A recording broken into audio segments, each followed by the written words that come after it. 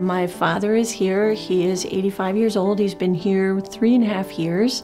His name is John, and um, John has had dementia for 16 years from a diagnosis by a doctor. Most people are aware that they have it before a doctor diagnoses it. Um, kind of a renaissance man, very uh, well read. He knows all kinds of history. Um, he, he always reminded me of like a typical history professor. He smoked cigarettes and then a pipe later, and he'd have this pipe, and for a while he had a beard, and he's bald, and he just looked like his professor, you know?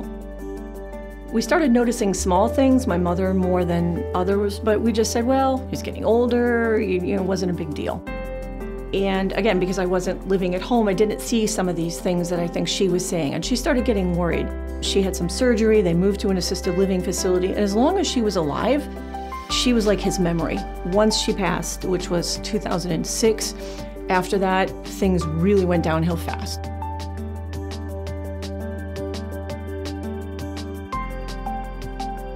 Came to Arden Courts myself before my dad was involved. I walked in saying, hmm, you know, this is just another nursing home. Walked out of here going, oh my gosh, I have to get my dad in here.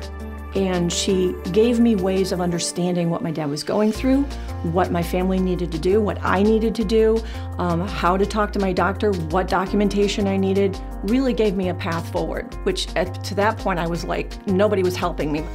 There's always somebody here to answer your questions and just let them know that we offer many things uh, physicians, dental, uh, psychiatrists. We do therapy here.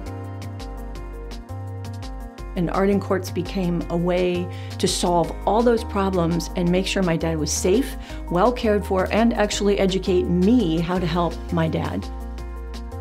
I always encourage families to come to the support groups so that they learn, you know, a little bit more about the disease or what, you know, what to kind of ex expect.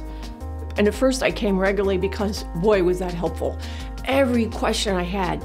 And after I became a veteran and I was here longer and I'd see these new people coming in, whether it was a spouse or a child or whatever, and they'd start crying. And I said, Why are you crying? And they'd stop and they go, What do you mean? I said, You're crying because you feel guilty.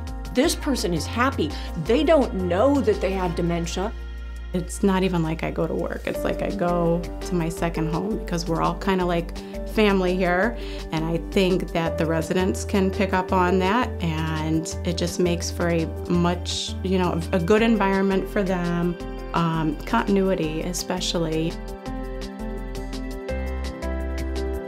This is his home. This is where he's getting the treatment. And I can live my life. I can work. I can be with my family. I can travel. I can do what I want to do and not feel guilty at all that I'm abandoning my father. He is loved, he is cared for, he has intelligent people who are looking out for his best interests better than I could ever do in a million years, and are patient with him and know how to deal with all of his symptoms, and they're aware of his routine and they're aware of all of those little things. If he acts differently, they're on top of it.